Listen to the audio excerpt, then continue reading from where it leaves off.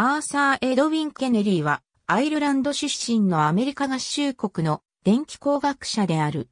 ケネリーは1861年12月17日に、インド、南ムンバイのコラバで、アイルランド人の海軍士官、デビッド・ジョセフ・ケネリーの子として生まれた。母のキャサリンは1863年、彼が3歳の時に亡くなった。同年、父が海軍士官を引退し、父と共にイギリスに戻った。彼はロンドンのユニバーシティカレッジスクールで教育を受けた。1878年に父はエレン・エル・スペンサーと再婚し、シドニー類石炭鉄道会社の経営権を引き継いで、カナダ実地領、ノバスコシア州シドニーに一家で転居した。ケネリーは1887年12月にトーマス・エジソンのウェストオレンジ研究所に加わり、1894年3月まで在籍した。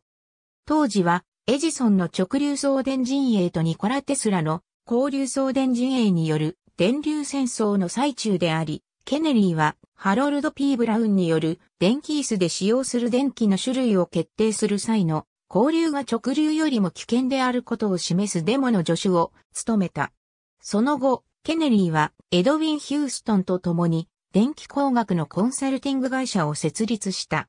彼らは共同で、オルタネーティング・エレクトリック・カレンツ、エレクトリカル・エンジニアリング・リーフレッツ、エレクトリック・アーク・ライティングを執筆した。1893年、彼はアメリカ電気学会でインピーダンスに関する論文を発表した。彼は交流回路理論にオームの法則を適用する際の複素数の使用を研究した。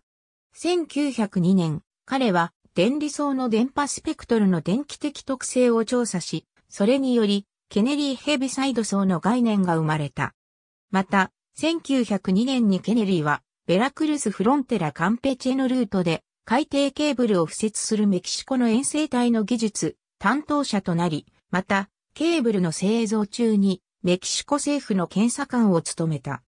彼は1902年から1930年までハーバード大学の電気工学の教授であり、1913年から1924年まではマサチューセッツ工科大学の教授を兼務した。彼が博士論文の指導を行った学生の一人にバネバー・ブッシュがいる。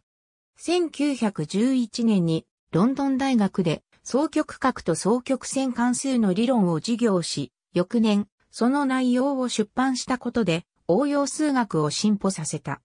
彼はメートル法推進協会、照明工学会、国際電気標準会議米国委員会などの専門組織に積極的に参加した。1898年から1900年まで IAA の1916年に無線学会の会長をそれぞれ務めた。